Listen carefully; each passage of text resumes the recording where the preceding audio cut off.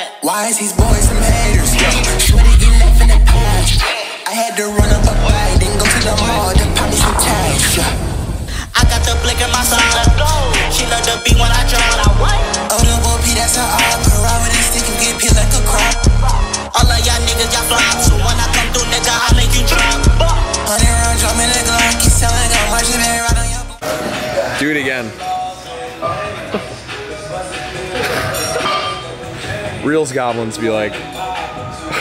My, my homie about to film them, film them reels. My homie's doing them reels. that's the that's the best cinematographer. I'm about to fire bro. I'm about to fire bro and hire bro. Let's make this more interesting. Bench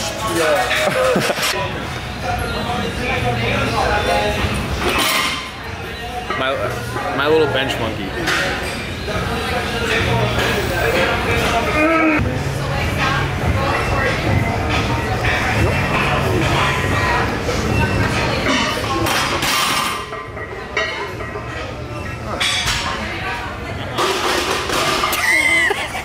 I need to get like a, let me go down here. I need to get like a table or like a bed over here because I'm just fucking, I'm that four or five spotter guy. I'm just that fucking one spotter guy. I, I literally have zero originality in me whatsoever. I literally just spotted one WeGo gym guy doing fucking 405 one time, and now I'm that one spotter guy. We need to get you like the teacher nameplate, put it like right on top of the bar, and it'll be like I haven't 405 spotter guy. I didn't even do it myself two well, years younger you? or anything like that. Big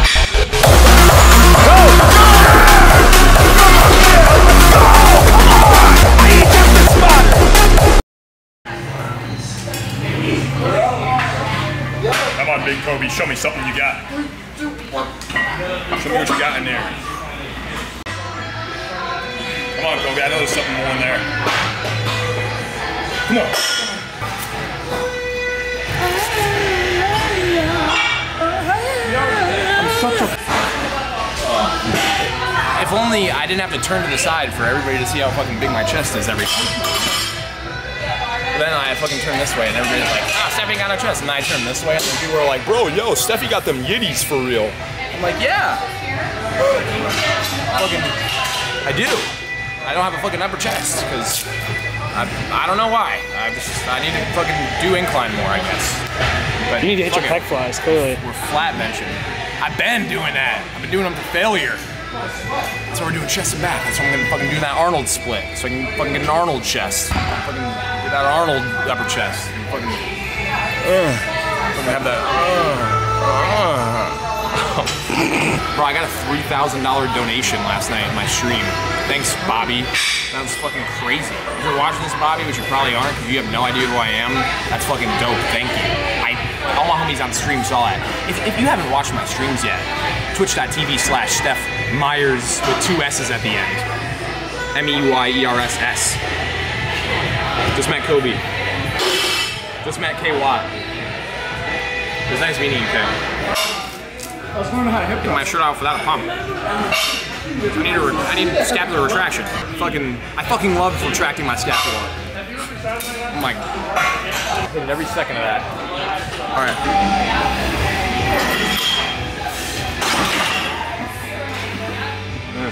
That shit was slow for real. That shit was slow. I'm done. My homie Kobe, my homie Kobe's the gym bro. He, he, he saw me in a he saw me in a stringer and he couldn't he couldn't help but fucking change out of it. He's done it three times, but at least he embraces he's a gym bro. My homie's epic.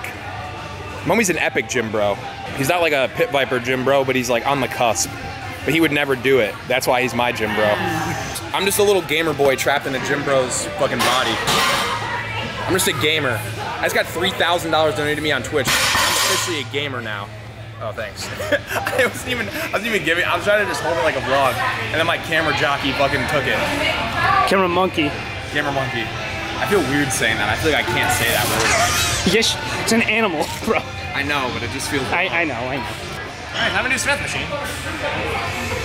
Oh, you put it at the perfect angle. You only need a 30 degree angle to get proper activation of the upper chest. Anybody tells you different. This is the, I, bro, this, that's the worst angle ever. I've done that angle once. I'll never do it again. I hope you know I wasn't doing it seriously. I know. Okay, that's enough that. I'm gonna do my catchphrase. Go, go, handsome PR. Guys, it's time to hit a handsome PR. It's handsome time. It's handsome, it's handsome time. We get handsome. Get handsome! Motherfucking Lex gonna be watching this shit like.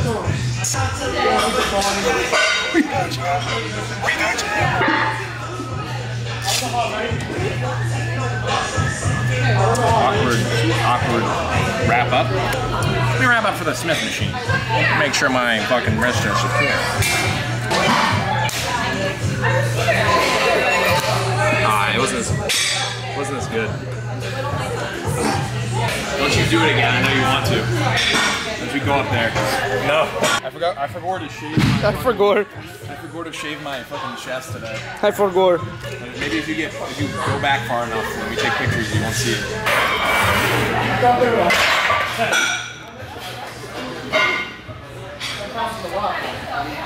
Do the thing, do the thing, do the thing, do the thing, do the thing, do the thing.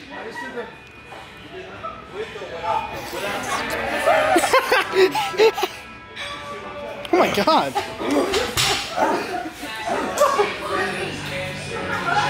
Come on now. It's about to go.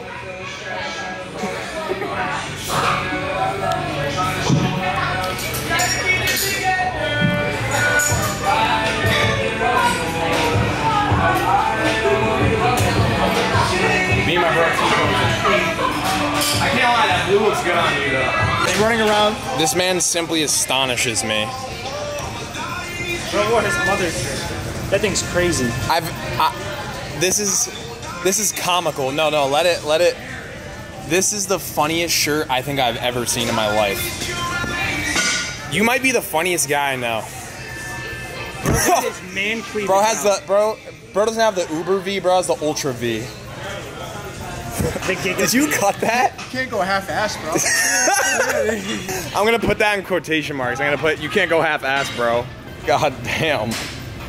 Oh my. It just the way it just teleported into my hand. My shit's my shit's on another plane. That shit fucking ain't, ain't nobody debating whether Stef got the fucking low chest. Me, and- me when I fucking I got no chest from the front and then I turned to the side and I got the best chest in the industry.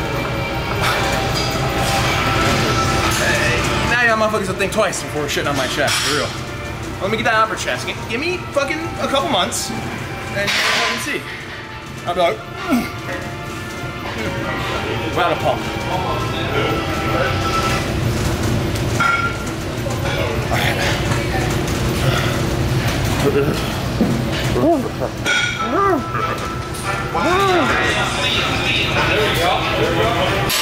Sounded like a Yoda. Mm-hmm. Mm-hmm. What lightsaber? Wait. Let me think of it.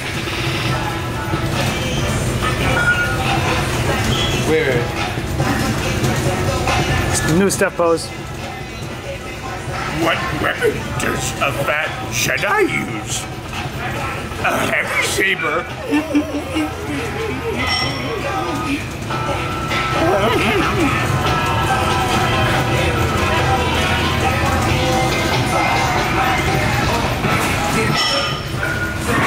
Reno could pull a T-pose off like me.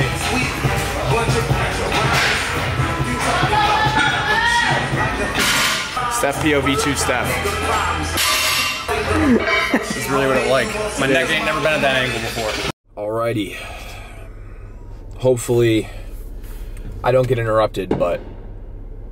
Alright, this is like my fucking third time trying to record this clip because it's the 3rd of July and for some reason people are lighting off fireworks. Oh, oh, 3rd of July, my favorite holiday. Alright, so I really don't know if fireworks are gonna fucking go off, but this is my last time recording this clip, so I, I don't really care. If you hear fireworks in the back, I'm sorry. We're doing this. It's like almost it's 12 o'clock at night. It's officially the 4th, actually, now. These fireworks have been going off since 11 p.m. Anyways, I've been trying to record this clip for like a week, and I've been procrastinating. But we're doing it now. So, I wanted to talk about negative experiences and how you can use negativity to push you further and turn it into a positive. Now, that may sound like fighting your demons, and you know what? It might be another term for fucking fighting your demons, might be another term for what I'm talking about. So, if you have a problem with that, I'm sorry. I think fighting your demons is a pretty corny expression, and it may pertain to this a little bit, but what I'm gonna talk about is not corny, and it's gonna help you fucking improve your life tenfold, and it literally probably one of the single most important things that helped push my life to the next level. So, if you want your life to go to the next level, fucking listen to what I have to say. Let's just dive right into it. Negative experiences. Can you guys think of a time right now? Think of it right now where somebody said some shit to you and it really fucking pissed you off. It really upset you and you kind of just heard it, accepted it and let it go. You just never really tried to think about it again because obviously why would you? It's a negative experience and it's something that causes negative emotion inside of you, why would you want to keep bringing that emotion up? I'm going to tell you why. I'll use me for an example. Many of you might not know that I used to play hockey. I played my almost my entire life up until my junior year of high school. I played varsity hockey on a very good team and I quit my junior year. And I was ready. I was so ready to quit. I was done. I loved fitness. Fitness was my utter utmost passion. I was done. I didn't want to play hockey anymore. I liked hockey, but I did not love it like I loved lifting and fitness. So, when I quit hockey, I obviously was at a pretty good level. And one of my dad's friends was at the gym one time that I went to, and I ended up bringing my dad this day. And they're talking about it, and they say, Oh, how's Stef doing with hockey? I'm overhearing them. I'm getting changed in my gym clothes. We're all in the locker room, but I'm at another part his friend asks him, oh, how's Stef doing with hockey and stuff? And then my dad goes, oh, well, he quit hockey. He knew he's trying to pursue this whole fitness and bodybuilding thing. The guy says back to him, oh, he's gonna regret that, huh? And I kind of just heard it, registered, and I was like, all right, pissed me off. I was like, all right. And I directly go and have probably one of the best fucking back workouts I've ever had. This is back when I was like 17. Those words from that day were just forever burned into my brain. I just simply will never forget what that guy said. And I, I don't hold a grudge against Bro. Like, good on him. I don't blame Bro for saying that. It's whatever. People say shit. He probably didn't mean it in a bad way. But for me personally, I just thought in my head, like, I- am going to prove this motherfucker wrong. I, I was already going to do fitness and all this other stuff. He wasn't the deciding factor, but it was like, it, it was like a, mm, I really just want to make this motherfucker eat his words. I, I just want to prove this fucking guy wrong. That was really the one of the first kind of times that I had truly turned a negative experience into something great. And I, I had done it a couple times before, but this one really stuck with me because I literally have, and it's not just pertaining to my dad's friend, it's to all the people that hated and didn't believe in what I was doing when I first started out. But I have it stitched on the inside of my belt. It says, prove them wrong. And I have it, I wear it on my wrists. It says, prove them wrong, one of this bracelet. And it sounds corny, but when you use a negative experience like that and you're like, you know what? I really, I really wasn't okay with that. You, you, you have to kind of let it get you pissed off.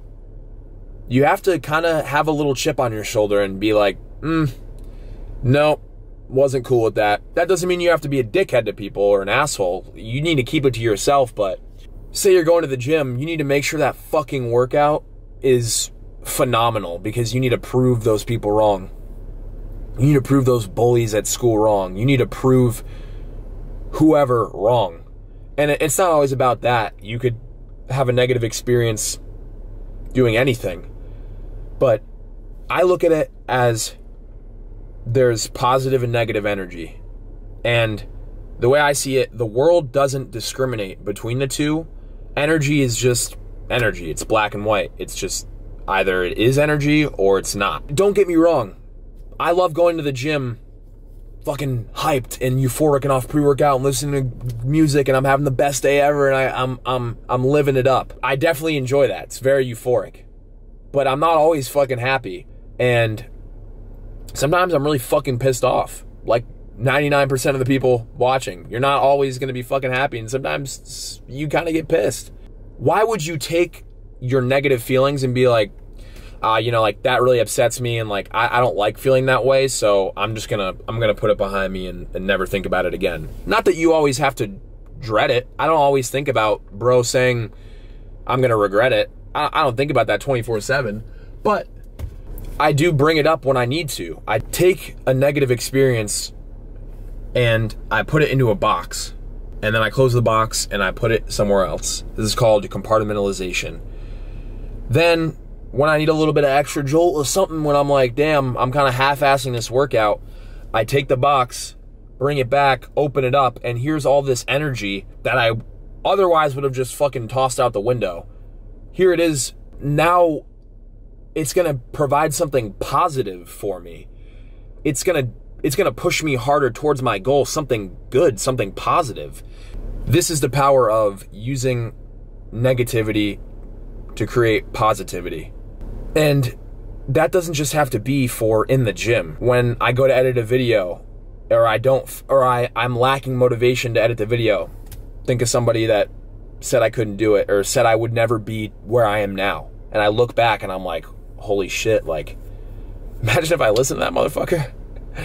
look look at me now, and I'm like, I gotta keep proving these fucking people wrong. I just gotta keep doing it because if, if I don't, then then they'll they'll win and they'll be right about me. And I I wasn't cut out. I wasn't cut from the same cloth because that's what they told me, right? So it must be true.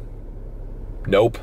You are the fucking master of what you want to be. It, if you think to yourself, oh, yeah, I'm not I'm not cut I'm not cut out for it. Yeah, I'm not probably not gonna do it. Then you'll never do it. You'll you'll simply one the, the second that you tell yourself that you can't, you won't. But the the second that you start to kind of question it a little bit, like, what if I did just what if I did just go for it? And and then you start to think of all the people that don't believe in you. And it's great. I love the people that do believe in me. That I've had plenty of friends and and some family that were there for me from the start, from the get go, saying you can do this, and and that is great. And I don't discredit them, but once you kind of start to think about the people that tried to put you down and the people that tried to keep you at their level, because that's really what it boils down to, then you're like, I don't want to be like them. Why the fuck would I want to be like them? They're, they're just dragging people down. They're, they're they're creating negativity out of nothing. Like there's no point of of putting all this negativity into the world. I want to create something positive. I want to I want to do something with my life. At, at that moment, when you start to question it, that's the transition. That's when you have unlocked a different part of your brain where now you're questioning everything. Hmm. I, I just hit a five plate squat at 17. What else can I do? I just bench 405 at 19. I just deadlifted 675 pounds at 19. I just got a fitness sponsorship. I, I never thought this stuff was possible a couple years ago, and and here I am, and I look back and I'm like, wow, this is this is it's unreal, and, and that pushes me even harder. Like, if I can do this, I can do more. I, I can be more. I can I can provide more to people. I can be a positive influence on others through my negative experiences. And for me, that is the most gratifying thing in the world. The fact that you guys can take a positive from the hardships and the trauma and the negativity that went on in my life. It, it honestly, it's healing not just the current state of me, but more so that younger version of me that never had somebody that looked out for them back then. And never looked out for that kid that didn't know what was going on when he was being bullied and was was told he would he would just never be anything. And you can you can believe that. You could say I'm making that up. Whatever you want, but I'm telling you right now that I've had plenty of people say worse things than that to me. Imagine if I just listened and I didn't go for it and and I let I let that shit get to me, that negativity, I let it I let it just fucking eat away at me and I succumbed to nothingness. I wouldn't be anything you wouldn't even know my name. You wouldn't be watching this video right now. I, I got so fucking fed up and so fucking pissed off that I, I wasn't gonna be anything that I became something. Yeah, going back to it, there is a lot of times where I'm, I am happy and I am fucking super positive, but I, I truly believe in the, to the bottom of my fucking heart that I would not be where I am without the negative experiences that shaped me into who I am today. I honestly, as good as I loved the more positive, prominent experiences in my life, the negative experiences are what created me. They're, what created Stef Meyers, the person that you're listening to and the person that you're taking advice from and watching across from the camera right now. I wouldn't be able to help you and and help you push past something or help you utilize your negativity without the negative experiences that I went through. You see, that's that's what it boils down to. It literally is creating a positive out of a negative.